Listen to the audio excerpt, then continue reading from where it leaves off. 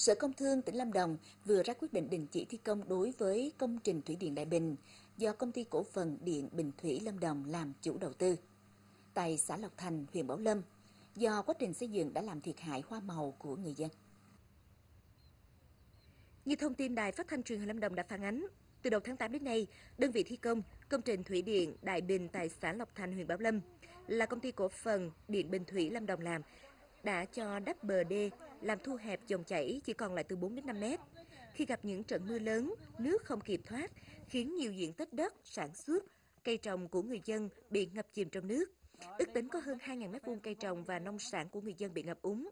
Sau khi thống kê thiệt hại, Sở Công Thương tỉnh Lâm Đồng đã yêu cầu chủ đầu tư thủy điện đền bù cho nhân dân tại nơi bị ảnh hưởng. Ngoài ra, qua kiểm tra, cơ quan chức năng đã phát hiện sai phạm trong quá trình xây dựng nên đã đình chỉ thi công công trình thủy điện Đại Bình. Sau khi hoàn thành việc đảm bảo yêu cầu kỹ thuật thoát nước, bảo vệ môi trường cũng như việc đền bù cho người dân mới được phép thi công tiếp. Được biết, dự án Thủy điện Đại Bình được khởi công xây dựng từ tháng 12 2015. Tuy nhiên đến nay, trong 56 hecta của dự án, chủ đầu tư mới chỉ đền bù được 16 hecta thuộc cụm công trình đầu mối.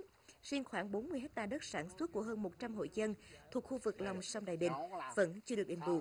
Song công ty cổ phần Bình Thủy vẫn tiến hành triển khai xây dựng dự án làm ảnh hưởng không nhỏ đến đời sống của hàng chục hộ dân có đất sản xuất trong vùng quy hoạch. Để chủ trương chính sách của nhà nước về hoạt động sáng tạo, sáng chế khoa học và công nghệ